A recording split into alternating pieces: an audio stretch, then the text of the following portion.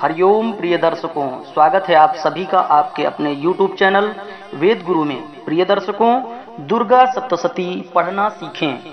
जी हाँ इसी क्रम में आज हम आपको देव्या कवच का पाठ श्रवण कराएँगे। आप एक एक अक्षर देख करके पढ़ भी सकते हैं। अथ देव्या कवचम विनियोग। ॐ अस्य श्रीचण्डीकवचस्य ब्रह्मा ऋषिः अनुष्टुप्छन्दः चामुण्डा देवता अङ्गन्यासोक्तमातरो बीजं दिग्बन्धदेवतास्तत्त्वं श्रीजगदम्बा प्रीत्यर्थे सप्तशतीपाठाङ्गत्वेन जपे विनियोगः। ॐ नमश्चण्डिकायै मार्कण्डेय उवाच। ॐ यद्गुह्यं परमं लोके सर्वरक्षाकरं नृणां। यन्न कस्य चिदाख्यातं तन्मे ब्रूहि पितामह। ब्रह्मोवाच। अस्ति गुह्यतमं विप्र सर्वभूतोपकारकम् देव्यास्तु कवचं पुण्यं तच्छृणुष्व महामुने। प्रथमं शैलपुत्री च द्वितीयं ब्रह्मचारिणी तृतीयं चन्द्रघण्टेति कूष्माण्डेति चतुर्थकं पञ्चमं स्कन्दमातेति षष्ठं कात्यायनीति च सप्तमं कालरात्रीति महागौरीति चाष्टमं नवमं सिद्धिदात्री च। नवदुर्गाः प्रकीर्तिताः उक्तान्येतानि नामानि ब्रह्मणैव महात्मना। अग्निना दह्यमानस्तु शत्रुमध्ये गतोरणे। विस्मे दुर्गमे चैव भयार्ताः शरणं गताः। न तेषां जायते किञ्चिद् शुभं व्रणसङ्कटे नापदं तस्य पश्यामि। शोकदुःखभयं नहि। यैस्तु भक्त्या स्मृता नूनं तेषां वृद्धिः प्रजायते। ये त्वां स्मरन्ति देवेशि। रक्षसे तान्न संशयः। प्रेतसंस्था तु चामुण्डा। वाराही महिषासना। ऐन्द्रिगजसमारूढा वैष्णवी गरुडासना माहेश्वरी वृषारूढा। कौमारी शिखिवाहना लक्ष्मीः पद्मासना देवी। पद्महस्ता हरिप्रिया। श्वेतरूपधरा देवी। ईश्वरी वृषवाहना। ब्राह्मी हंससमारूढा सर्वाभरणभूषिता इत्येता मातरः सर्वा सर्वयोगसमन्विताः नानाभरणशोभाढ्या नानारत्नोपशोभिताः दृश्यन्ते रथमारूढा देव्या क्रोधसमाकुलाः शङ्खं चक्रं गदां हस्तिं हलं च मुसलायुधं कीटकं तोमरं चैव परशुं पाशमेव च। कुन्तायुधं त्रिशूलं च। सारङ्गमायुधमुत्तमं दैत्यानां देहनाशाय। भक्तानां भयाय च। धारण्यायुधमानीत्थं देवानां च हिताय वै। नमस्तेस्तु महारौद्रे। महाघोरपराक्रमे महाबले महोत्साहे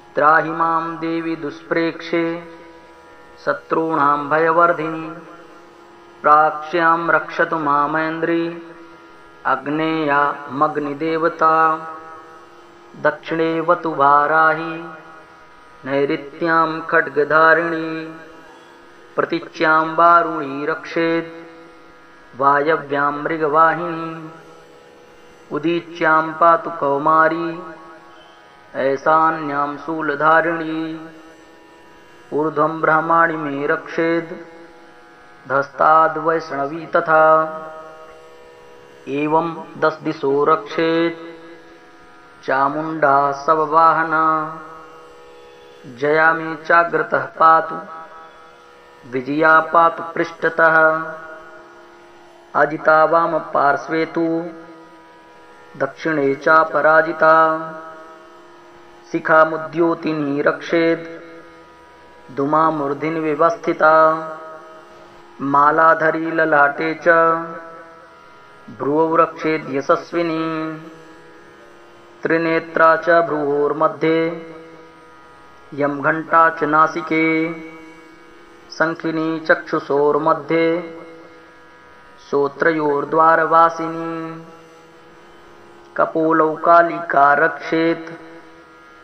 कर्णमूले तु शाङ्करी नासिकायां सुगन्धा च।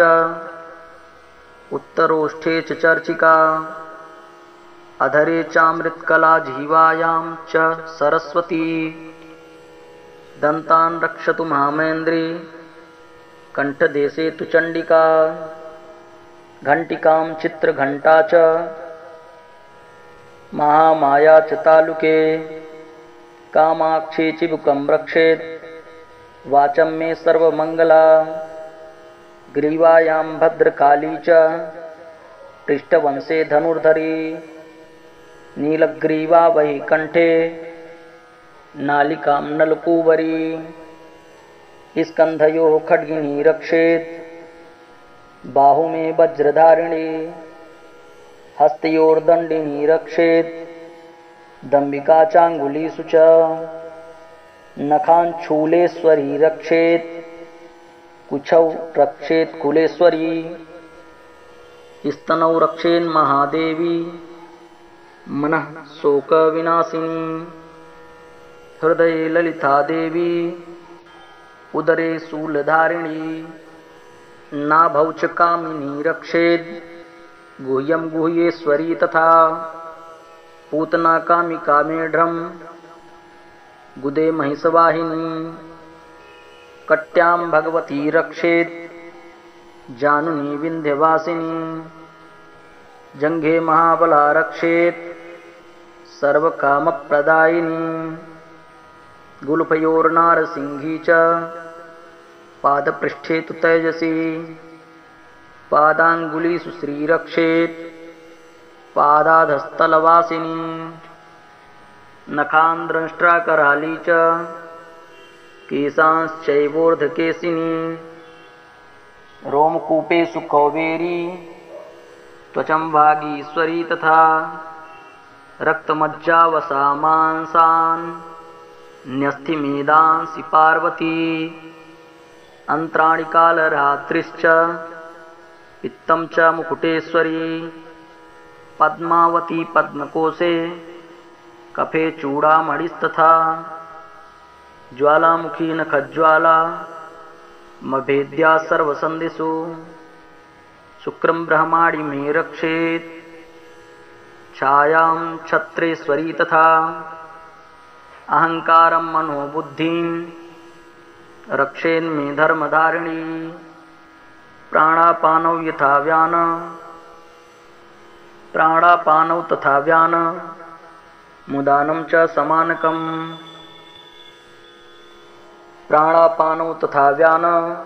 मुदानं च समानकम्। वज्रहस्ता च मे रक्षेत्। प्राणं कल्याणशोभना रसे रूपे च गन्धे च शब्दे स्पर्शे च योगिनी, सत्त्वं रजस्तमश्चैव रक्षन्नारायणी सदा। आयु आयुरक्षतु वाराहे, धर्मं रक्षतु वैष्णवी। यशः कीर्तिं लक्ष्मीं धनं विद्यां चक्रिणी। गोतिमिन्द्राणि मे रक्षेत् पशून्मे रक्ष चण्डिके पुत्रान् रक्षेन्महालक्ष्मी भार्यां रक्षतु भैरवी। पन्थानं सुपथा रक्षेन्। मार्गं क्षेमकरी तथा। राजद्वारे महालक्ष्मीर्विजया सर्वतः स्थिता। रक्षाहीनं तु इतस्थानं वर्जितं कवचेन तु। तत्सर्वं रक्ष मे देवी। जयन्ती पापनाशिनी। पदमेकं न गच्छेतु। यदीच्छेषु भवात्मनः कवचेनावृतो नित्यं यत्र यत्रैव गच्छति तत्र तत्रार्थलाभश्च विजयः सर्वकामिकः। यं यं चिन्तयते कामं तं तं प्राप्नोति निश्चितं परमैश्वर्यमतुलं प्राप्स्यते भूतले पुमान् निर्भयो जायते मर्त्यः सङ्ग्रामे स्वपराजितः। त्रैलोक्ये तु भवेत् पूज्यः। कवचेनावृतः पुमान्। इदं तु देव्याः कवचं देवानामपि दुर्लभं यः पठेत् प्रयतो नित्यं त्रिसन्ध्यं श्रद्धान्वितं दैवी कला भवेत् तस्य। त्रैलोक्यस्वपराजिता। जीवेत् वर्षशतं साग्रमपमृत्युविवर्जितः नश्यन्ति व्याधयः सर्वे। लूता विस्फोटकादयः। स्थावरं जङ्गमं चैव। कृत्रिमं चापि यदृशम्। अविचाराणि सर्वाणि। भूतले। भूचराः खेचराश्चैव। जलजाश्चोपदेशिका। सहजा कुलजा माला। डाकिनी साकिनी तथा अन्त अन्तरिक्षचराघोरा डाकिन्यश्च महाबलाः ग्रहभूतपिशाचाश्च यक्षगन्धर्वराक्षसाः ब्रह्मराक्षसवेतालाः कूष्माण्डाभैरवादयः नश्यन्ति दर्शनात् तस्य कवचे हृदि संस्थिते। मनोन्नतिर्भवेद्राज्ञस्तेजोवृद्धिकरं परम्। यस्सा वर्धते सोऽपि कीर्तिमण्डितभूतले। जपे सप्तसतीं चण्डीं। कृत्वा तु कवचं पुरा। यावद्भूमण्डलं दत्ते। सशैलवनकाननं तावत्तिष्ठति मेदिन्यां सन्ततिः पुत्रपौत्रकी देहान्ते परमं स्थानं यत्सुरैरपि दुर्लभम प्राप्नोति पुरुषो नित्यं, महामायाप्रसादतः। लभते परमं रूपम शिवेन स मोदते। ॐ देव्या कवच संपूर्णम। फिर मिलते हैं अगले नए वीडियो के साथ। हरिओम प्रिय दर्शकों।